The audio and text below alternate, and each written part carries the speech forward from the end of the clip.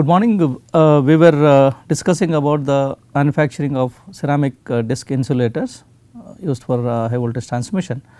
Uh, various methods or the flow chart which was used for the manufacture was discussed in detail. We will now look into the importance of the glass insulators, how the glass insulators are manufactured manufactured in the industry. So, the suspension glass insulators are uh, used like a porcelain or a ceramic insulator for transmission and distribution uh, purposes.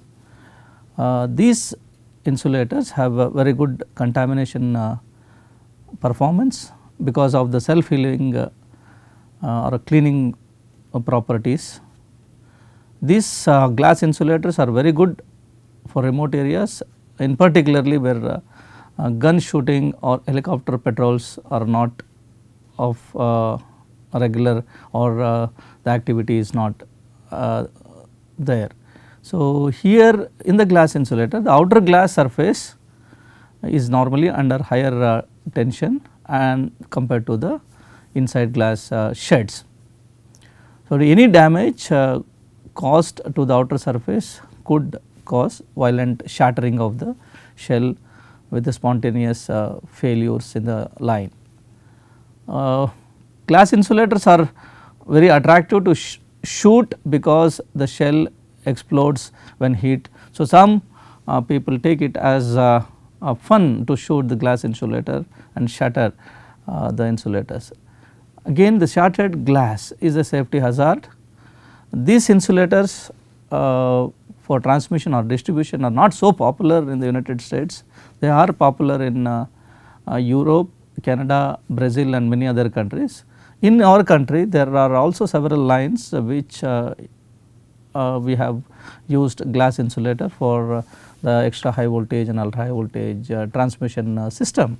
Uh, when you carefully look into the glass insulator you can see the similar to a porcelain insulator a glass insulator also has uh, uh, metallic end fittings on a pin and a cap and a glass shell of a particular petticoat depending upon the creepage length.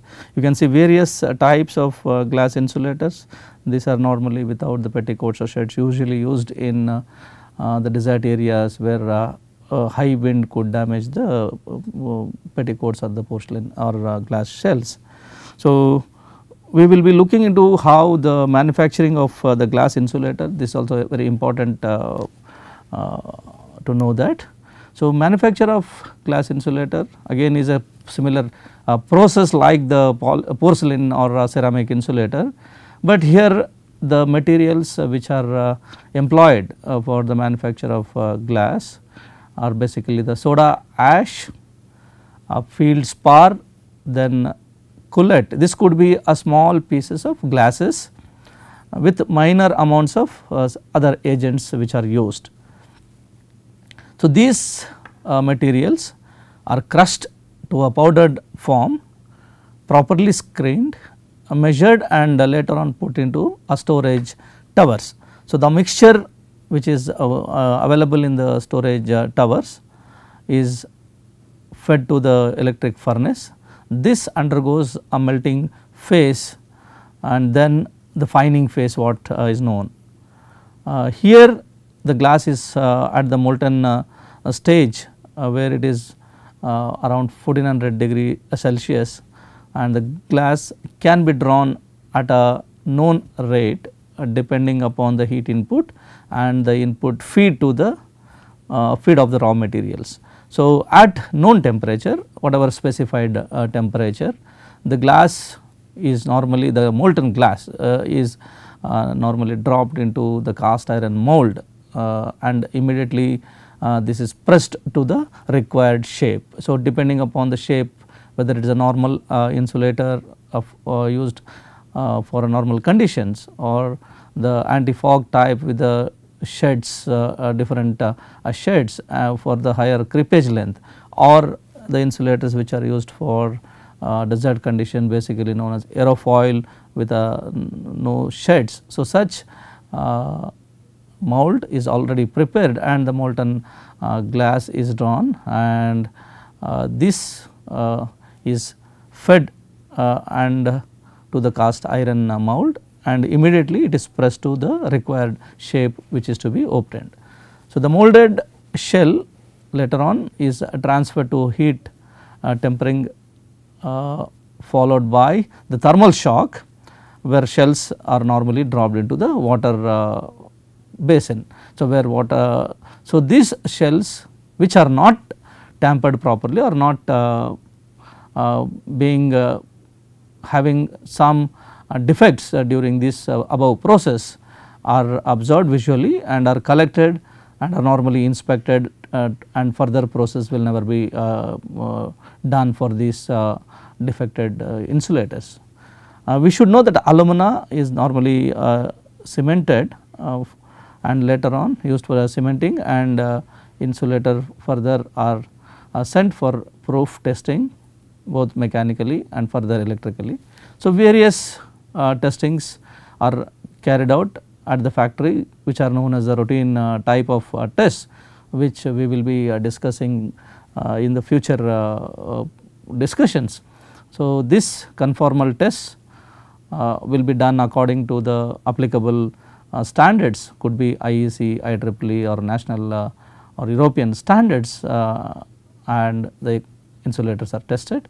Further after the testing confirmation uh, these insulators are uh, put up in the form of a crate where number of insulators are put in a crate and are shipped to the desired location of the utility. This is how the manufacturing uh, process uh, of the glass insulator takes place. So, what are the uh, material uh, hardware which are used along with the silica glass and other materials which we have discussed. Uh, these are basically the end fittings how important uh, is like the ceramic uh, we were uh, discussing about the uh, Portland cement, the end fittings uh, so on for porcelain insulator. Similar to that the metal components are to be cemented cemented to the glass shells which have been obtained. this provide a means of transmitting mechanical load which may apply to suspension insulators or post insulators or the insulators which are used in sub, uh, for the substation equipment production. So, usually uh, malleable and ductile iron uh, and forged steel protect usually uh, against the corrosion are normally used for the hardware of pin and cap. So, these are initially nailed properly and the casting is done by either grinding or machining and uh, galvanizing. Uh, so, the surface in contact with the cement is properly coated with the bituminous uh, paint. Further steel forging is normally carried out uh, for pins of the suspension uh, glass insulators. These steel components are further galvanized and coated with bituminous paint to obtain more strength. So, this is important uh, that is one of the reason where uh, galvanizing and coating with bituminous paint is uh, carried out to obtain more strength. For some limited applications uh, the manufacturers also employ aluminum aluminum aluminum uh, alloys which are used but these are again not very economical. So, depending upon the um, usage and importance, uh, so aluminum alloys are being used. So, cement similar to the porcelain or uh, the ceramic uh, insulators, here aluminous cement in a very clear form that is a neat form where it contains no sand aggregate or filler in cement mix is basically used for the assembly of glass insulators. So, in curing aluminum trioxide Al2 with alumina is liberated from monocalcium aluminate phase. So, earlier in the Portland cement was employed for the porcelain or a ceramic insulator, there lime uh, was liberated uh, during a curing purpose. So, here uh, it is alumina usually is liberated from the monocalcium aluminate phase in case of glass insulators. And there are no chemical uh, reaction which takes place because of the galvanized insulator. So, there is uh, need to coat the hardware with a bituminous uh, layer that is the reason where a bituminous layer is coated and alumina which has a very high compression strength adequate mechanical strength is developed after 24 hours uh, after the curing in water uh, and further to mechanical uh, proof test. So, this is how the insulator cementing or insulator hardware uh, are fixed to the glass uh, shells in the manufacturing stage. This is again the flow chart of the discussion which we have uh, just talked about various manufacturing stages. So, this shows the entire manufacturing process of the glass insulators where you can see the raw materials are, collected and stored further these are uh, powdered uh, using uh, the screening mechanisms. So, further to the screening it is sent to the uh, furnace where it is melted at a temperature. Uh, after the melting of the temperature uh, these are carefully molded using the mold cast iron moldings for uh, different uh, shapes or a required shape. Further this uh, a toughening to be made it is sent for the firing and after the firing the insulators are dropped in the um, chamber containing water. This further shells are taken out and are further assembled along with the cap and pin uh, using a suitable coatings and the aluminous cement. Further after finishing the product uh, the glass insulators undergo uh, various uh, mechanical and uh, electrical tests at the uh, factory which are best known as a routine tests and further the inspection and the quality measures are met these insulators are packed properly in the crates and are dispatched uh, to the required locations. Uh, this is how the steps uh, in the manufacturing of glass a very important process for the glass manufacturing. So, when you carefully look here this is how the um, shell or the insulator cut section of the glass insulator looks typical schematic of the glass insulator where you can see the cap. The cap again is a malleable iron hot uh, dipped galvanized iron which is used. Uh, you can see here a bituminous layer is being coated, coated and alumina cement is used here for the jointing of both the cap and the glass shell. So, the toughened glass uh, which is uh, obtained from the molten uh, state at a defined temperature uh, you can see various uh, types of shells are normally employed. Further there is again uh, alumina cement which is connected to the pin of the insulator. So, the cap and pin of the insulator the, with the glass shell is embedded with the alumina cement uh, coated with the bituminous layer. Uh, this is how the uh, glass uh, insulator uh, looks. this is again a pin type of insulator normally employed for lesser voltages. here again you can see the different pin insulators jointed um, with the help of alumina cement and uh, a toughened glass shells or it could be 2 3 shells which are jointed depending upon the voltage and the uh, creepage requirement. And you have a, a, a zinc uh, thimble which is basically to used uh, for the um, having uh, thread arrangements and used to mount on the poles. So, you have a threaded arrangement uh, this insulator could be mounted on the Uh, uh, platform of the pole of uh, uh the wherever the insulator are to be placed. So, further we have discussed about the manufacturing of the porcelain or ceramic insulator, the glass insulator both are uh, electrically and mechanically stable are very good are being used for a very long period of uh, time more than a, a century uh, old technology a lot of uh, changes have do happened in both the ceramic and glass insulator pertaining to the voltage level the creepage distances the shapes have undergone several changes and are being used. Uh, now we will uh, discuss about uh, the recent uh, or a decade or two or 3 decades since the polymer or the development of composite a polymeric or a silicon rubber insulators sometimes known as non-ceramic insulators. Uh, so, I will be using the terminologies either uh, composite, polymeric, silicon rubber or non-ceramic during the discussion. So, these insulators uh, are basically organic in nature and were first uh, used somewhere in 1940s the first polymers tried out for electrical insulations were bisphenol and cycloaliphatic epoxy resins which were uh, introduced in mid 40s to 50s. Uh, later on cycloaliphatic epoxies uh, were introduced in uh, late 50s uh, particularly for outdoor insulation. These were used in 60s or late 60s in England later in France, Italy and US. So, lot of uh, research activity has gone into this. There are uh, being several advantages for uh, going in this uh, insulation.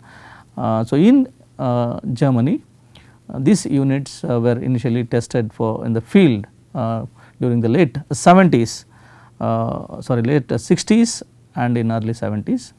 So, initially the manufacturers introduced the first generation uh, polymers or commercial polymeric transmission insulators uh, way back in 1970s which are known as the first generation uh, commercially available or uh, polymeric transmission line insulators used for both transmission and distribution initially tried out. So, several companies uh, were available. Most of the companies do exist right? Like uh, Ceraver which use the housing material EPR is ethylene propylene rubber uh, somewhere in 1975 this is in France. Then Huiobras, Rosenthal, Sediver, uh, TDL, LAP, Reliable. So, several of these uh, companies uh, started during the similar uh, period of the 1975 to 1983 uh, using either ethylene propylene rubber or the silicon rubber.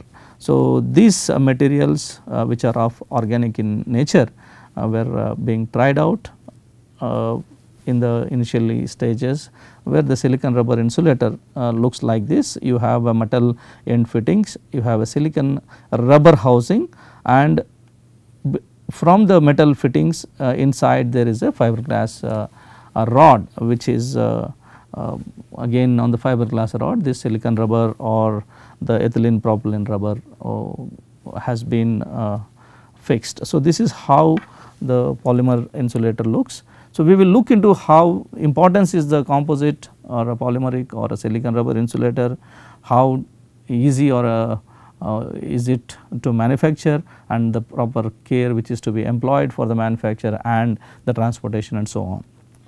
So, now as mentioned non ceramic insulators uh, were introduced in 70s particularly for transmission because of advantages. So, many people many industries started uh, uh the business of uh, the polymeric or uh, the composite or non-ceramic insulators and these uh, thought were to be used for all the voltages. The main advantages uh, of uh, the polymer or non-ceramic insulators being uh, very light uh, in weight, flexible, having a high mechanical strength to weight ratio. These insulators showed a strong intention and also low degree of standardization. So, very important. So, several advantages uh, for both the manufacturers and the utilities. So, this is how a typical uh, I am repeating the insulator looks. You have a metal uh, end fittings uh, inside connecting from the metal end fittings is the fiberglass rod. Then on the fiberglass rod the weather sheds uh, or the silicon rubber or the composite material uh, which is embedded on this uh, rod. So, end fittings are properly uh, crimped to the metal uh, to the fiberglass rod. this is how the insulator looks. So, you have a uniform circumferential compression near this um, end fittings you have a high reliability of the end fittings pressure which is again uh, taking care of the fiberglass rod here a strong adhesion between the housing and the rod has to be done. So, there is a, a paint which is being made and also the silicon uh, unit cast housing is done. uh, silicon housing with uh, which is an excellent hydrophobicity is normally used. So, this is how uh, typical uh, non-ceramic or a polymer insulator uh, looks. How is the silicon rubber insulator manufactured? So, we have previously discussed about the manufacture of uh, the glass and the uh, ceramic or uh, the porcelain insulator. We will look now into the importance and how the manufacture of silicon rubber and what is the care to be taken during the manufacture and during the transportation. So, before going into the manufacturing stage, what is the main composition of the silicon rubber uh, or the composite material which are used for the transmission insulators are important. So, this uh, compound which is I mentioned as an organic uh, compound basically consists of a poly dimethyl siloxane uh, which is uh, known as a PDMS structure. So, poly in the sense several uh, no, several chains of this uh, dimethyl siloxane uh, structure is shown here. So, basically the silicon again uh, which is consisting of oxygen and the methyl group. This again methyl group is an alkyl uh, which is uh, derived from uh, methane which contains one carbon and 3 hydrogen atoms which are bonded. so, this is how the structure and there are a number of structures in a silicon rubber uh, PDMS uh, structure. So, polydimethyl siloxane with different functional groups uh, that is OH, C, CH2, H and others uh, uh, are available are consists consists of these groups. So, here apart from the silicon rubber PDMS there are fillers which are employed. These fillers could be of pyrogenic or precipitated silica, quartz powder and uh, others. So, the vulcanizers which are used are peroxides and silicon. So, catalysts for the material uh, used are platinum compounds, tin compounds and some others. So, what are the additives for uh, this compound again they have uh, adhesive agents, uh, softening agents, various pigments this is for coloring of the uh, insulators and others. So, carbon blacks the pigment types, conductive tape types and also the special types. So, aluminum trihydrate, aluminum hydroxide which is known as ATH is normally used as a filler materials for this uh, uh, silicon uh, rubber. So, the percentage of the various fillers and the PDMS is uh, uh, decided by the manufacturer and uh, each manufacturer they have a, special composition for the manufacturing of this compound. So, basically as mentioned earlier the polymer insulator uh, consists of a metal end fittings as shown here. This is a silicon rubber uh, material uh, and the fiberglass rod uh, which is embedded here. Again silicon rubber initially is the sheds are important uniform sheds were absorbed during the manufacture later on because of the advantages uh, these sheds are of uneven in nature are being employed that we will be trying to discuss in the future when it comes to the testing and uh, the performance of this uh, silicon rubber insulators. So, what are the steps involved in the manufacturing process of a silicon rubber composite or a polymer insulator.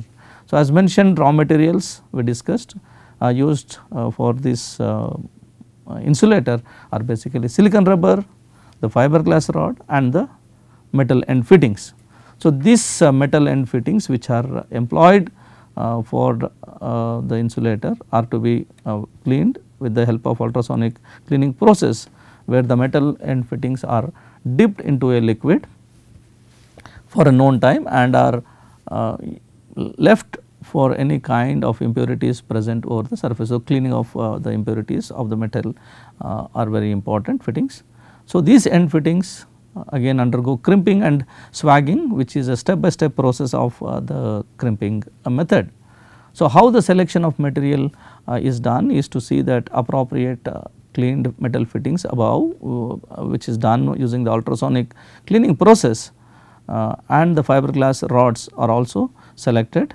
Uh, these cleaned metallic fittings are inserted into the identified uh, fiberglass rods of known dimensions of known length.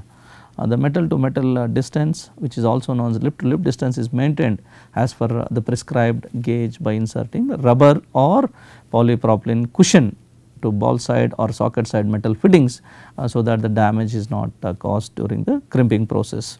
So, jaw setting is usually done by using the suitable jaws uh, which are selected according to the diameter of the crimping portion and the crimping length which is mounted on the crimping cavity. So, there are various settings which are done for the crimping um, from the initial conditions uh, to various uh, crimping pressure, crimping mode and uh, crimping knob settings. So, these are done at a proper pressure and as per the standards available for a particular dimension of the fiberglass rod. So, crimping mode settings can be either manual, semi automatic or automatic. So, the composite insulators which are uh, presently being manufactured in the range of uh, 90 kilonewtons to 160 kilonewtons or more.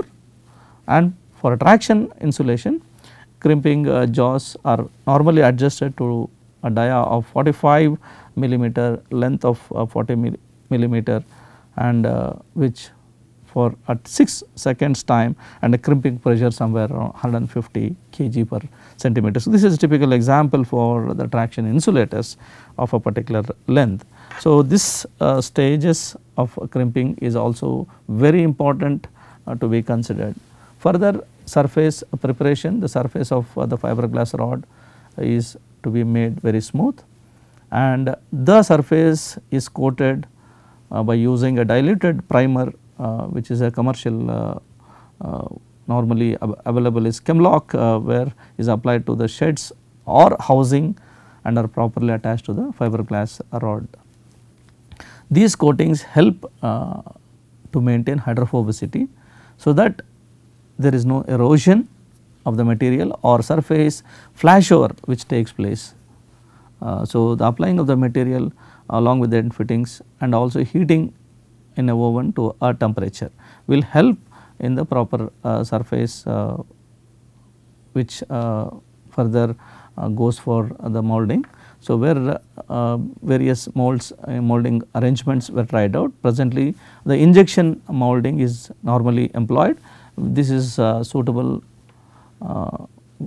and this injection mold is normally operated at 160 degrees and number of sheds uh, the volume, pressure, curing time are normally provided under the standard uh, specifications for a particular product. So, the molding is done usually in 3 stages where the bed of the machine is cleaned by using a valve lapping compound and later by the jet of a compressed air. So, here again the curing process is done so that uh, this becomes hard and rods are now housed uh, using silicon rubber uh, by the process. So, generally alternate uh, type of sheds are preferred. So, earlier I mentioned the point uh, why the importance of uh, alternative type of sheds. This is mainly to see in case of rain the continuous uh, stream of water is discretized into droplets reducing the frequency of flashover. So, if the sheds are uniform uh, because of the rain uh, the flashover uh, because of the water droplets could form and reduces the creepage length. So, to ensure that the sheds are of alternative type uh, bigger and smaller are normally used. Then after the inspection molding it goes for the insulator uh, goes for the deep flashing here the insulator is placed on the racks or stacked in the wooden uh, supports. After the compound component has cooled to ambient temperature and some further sticking extra material silicon rubber material which is extra is removed manually or by using a, a knife. In case of uh, traction insulator three types, uh, we have uh, bracket insulator which is for inclined purposes, 9 ton insulator which is to maintain the uh, horizontal uh, position and also has to make it horizontal. So, the weight of a 9 is used and a stray arm insulator to be in the horizontal process are normally used. So, testing routine tests after the insulators are ready these have to undergo the routine test in the factory performed during the production uh, before the crating and the shipment is done. So, these uh, tests mechanical or electrical or thermo uh, mechanical tests uh, will eliminate defective insulators uh, which might either uh, otherwise fail immediately upon installation and energization. So, in the factory before the dispatch mechanical, electrical and other um, mechanical uh, bending tests are usually performed uh, before the insulators are dispatched. So, mechanical tensile uh, strength we will be discussing several of the tests. Uh, this is just to give a brief introduction about the mechanical tens uh, tests. Usually here the testing fixtures with insulators are placed on the mechanical test bed connected in the form of a string. The number of insulators again will be decided by the amount of load uh, to be applied, the stress which is to be applied uh, varies 60 percent of the total mechanical of the insulator string for a time frame of a minute. So, the load is then realized and observed for withstand or failure in the factory. Similarly, appropriate electrical tests are carried out for a period of 1 minute and uh, in case of no flashover uh, this insulator deems to be uh, cleared the particular test. Bending test the again completion of mechanical and electrical tests some are randomly selected and mounted to test bed for ultimate uh, breaking load and determined and the value of breaking stress is usually calculated and uh, found. So, after the electrical, mechanical and uh, bending tests uh, which are uh, routine in nature, uh, the insulators from the quality section is cleared for the dispatch where after clearance for the insulators are normally uh, stored horizontally in the crates uh, properly uh, uh with packing and uh, fixing and ensure that undue load uh, is not exerted on the polymer sheds where they could damage if it is not properly taken care. So, this is how the process of the polymer insulator happens uh, the similar uh, flow chart is uh, shown here where it gives the metal end fittings, fiberglass rod, the silicon compound, the raw material. The raw material silicon compound, fiberglass rod, metal end fittings are the required raw materials.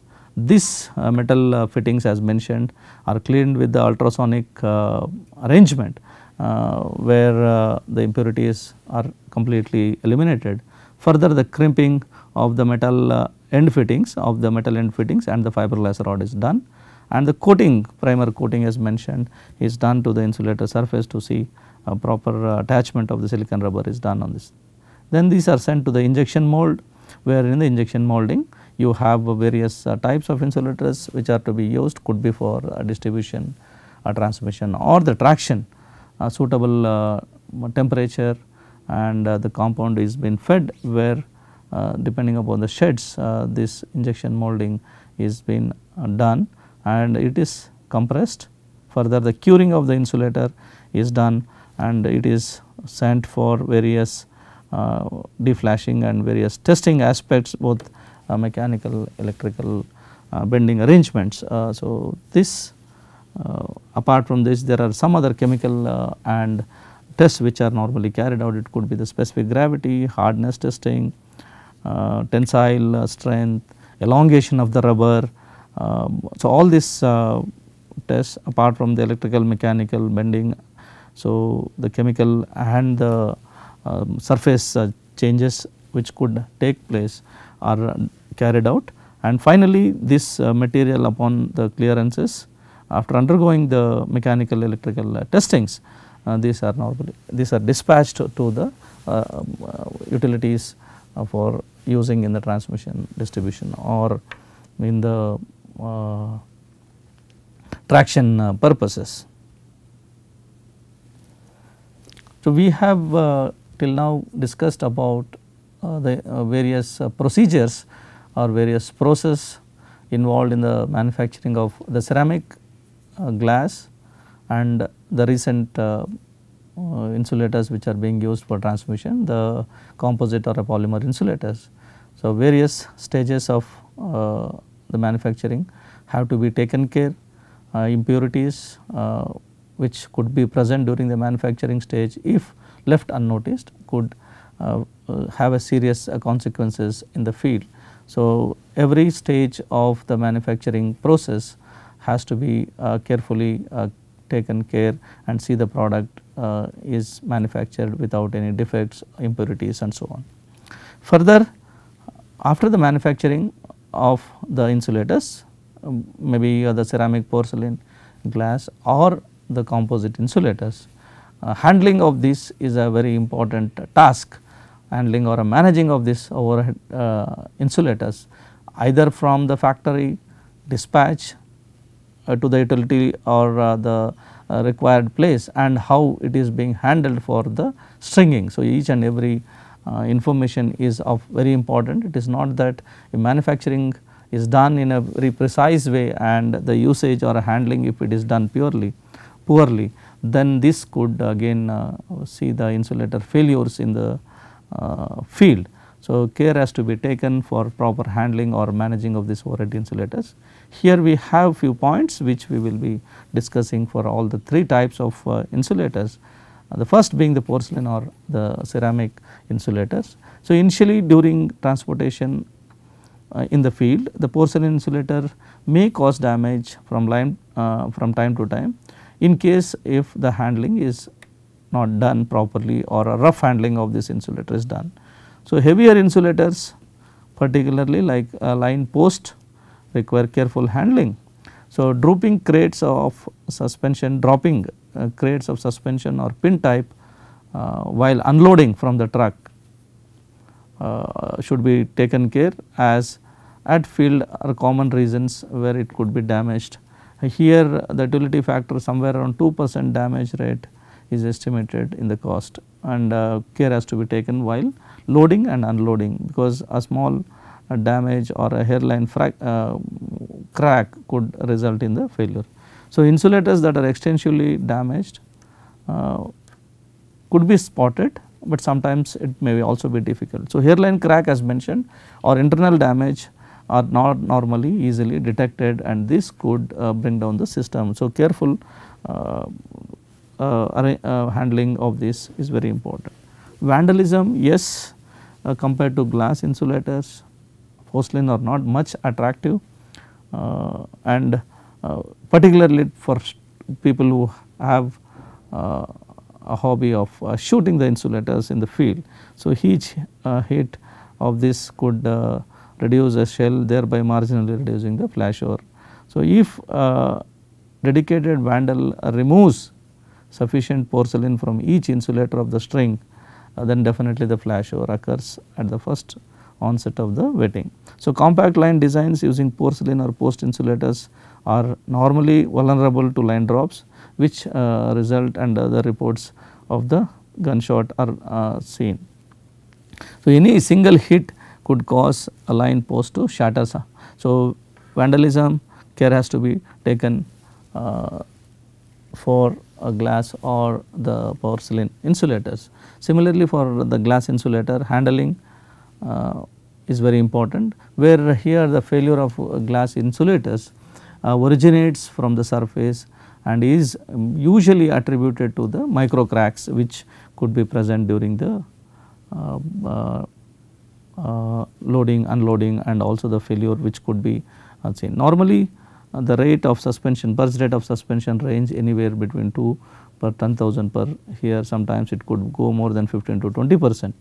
So, higher rates of uh, uh, the activity purge rate are normally reported uh, during the construction of new lines and are handled in the field. So, handling of this is very important.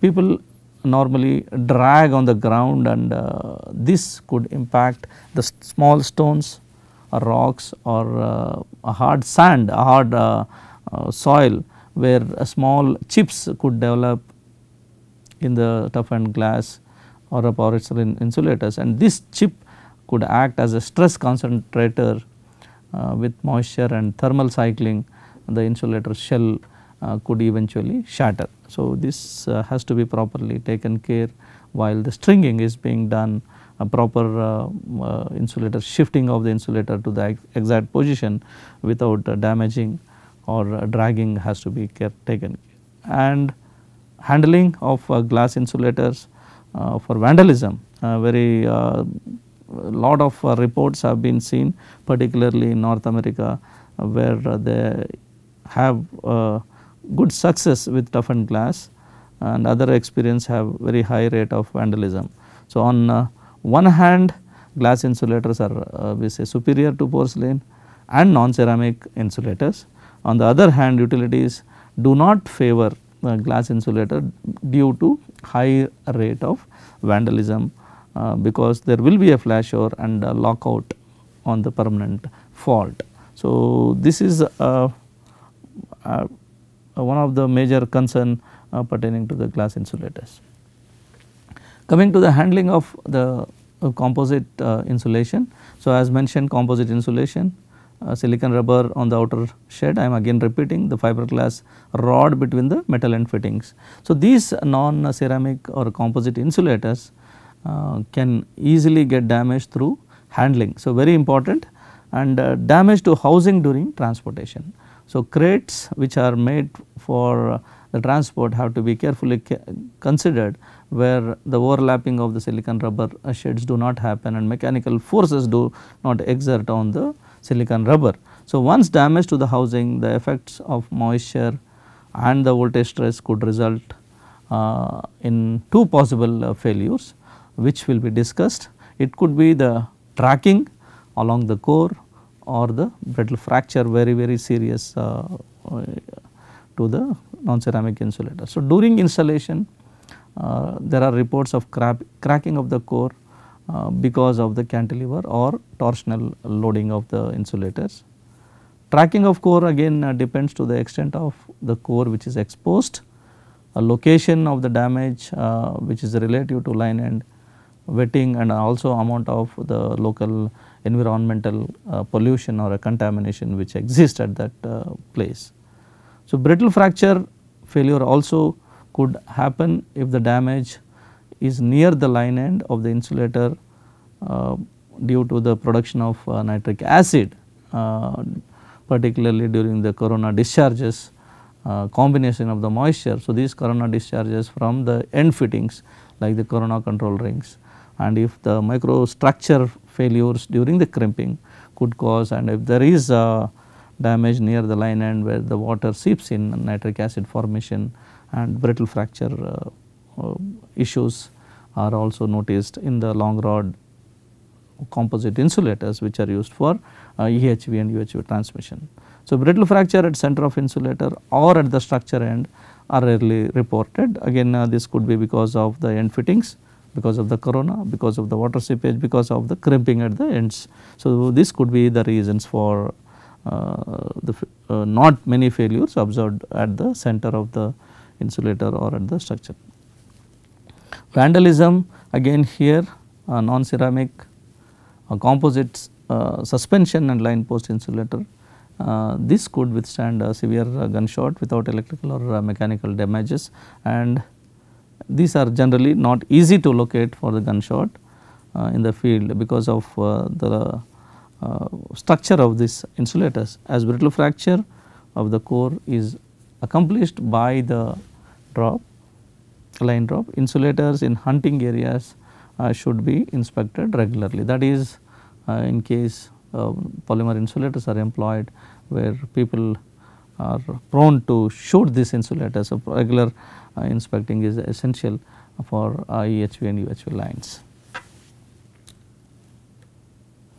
So, we have uh, discussed about the manufacturing of uh, various insulators, porcelain, glass and composite insulation.